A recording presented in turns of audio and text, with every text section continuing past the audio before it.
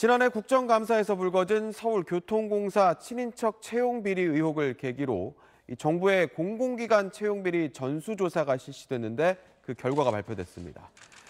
1205개 기관을 대상으로 2017년 10월 특별점검 이후 실시한 신규 채용과 최근 5년간 정규직 전환에 대해 점검한 결과 채용비리 182건이 적발됐습니다.